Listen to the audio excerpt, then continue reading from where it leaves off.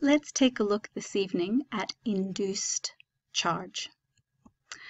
To induce a charge is to charge an object without actually touching it. So here we don't need to rub two objects together because we're going to charge them without actually touching them. Works like this. Have a look at these two objects. The long, skinny, rod-shaped object is definitely positively charged.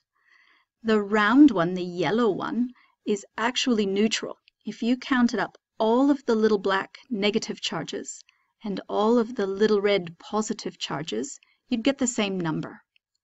So, in order to induce a charge, we can bring a positive object very close to a neutral one.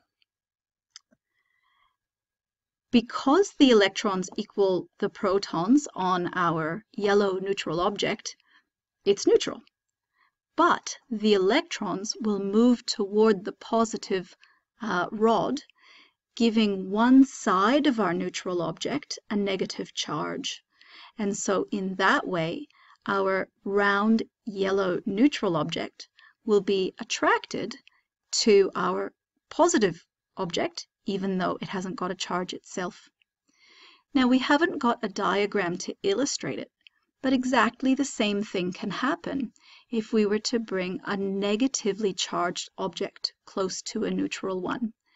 In that case, though, the presence of the negatively charged object would uh, repel, would drive away all of the electrons on the neutrally charged object, and so you'd have the opposite pattern. You'd have the little black negative charges running away from the charged object, leaving only the red positive ones behind, and it would still end up overall attracted to the charged object.